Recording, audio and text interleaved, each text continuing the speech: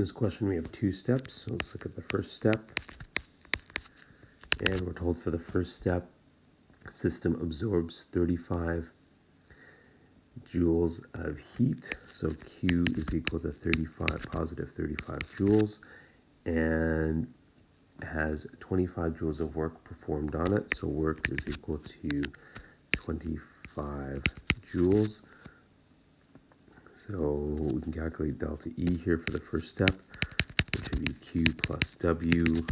So 35 joules plus 25 joules, and this is equal to 60 joules. And then uh, it'll return to its initial state by a second step. So since the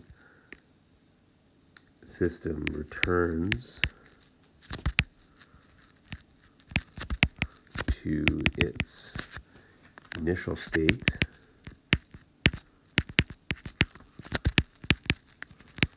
after step two. Uh, the delta E here would be negative 60 joules. So for step two, our second step here, delta E is equal to negative 60 joules. We're told that 5 joules of heat are given off, so Q is equal to negative 5 joules. And the work is our unknown here.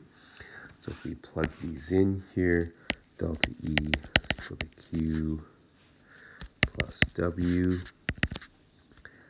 And this would be negative 60 joules is equal to negative 5 joules plus W.